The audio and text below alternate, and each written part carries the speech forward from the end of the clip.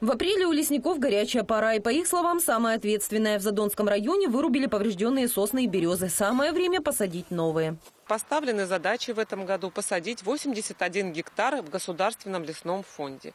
И в рамках программы развития лесоразведения на сельхозземлях, вышедших из э, сельхозназначения, еще 50 гектар создать э, лесных культур. Здесь в 2010 году были верховые пожары. Сегодня высаживают сосны 4,5 тысячи сеянцев на гектар. Посадочный материал доставляют из питомников. Его предостаточно. Чтобы саженцы принялись, лесники не отступают от правил. Это называется у нас болтушка. Корневая система, чтобы была влажная. Блокноты и микрофоны сегодня не пригодились. Наши коллеги, журналисты и ведущие радиостанции Липецк ФМ вооружились перчатками и приехали помочь лесникам. В эту прекрасную погоду радиостанция Липецк ФМ не смогла усидеть в офисе. И мы приехали на Задонскую землю помочь нашим липецким лесникам в посадке леса. Эта борозда высажена радиостанцией Липецк ФМ.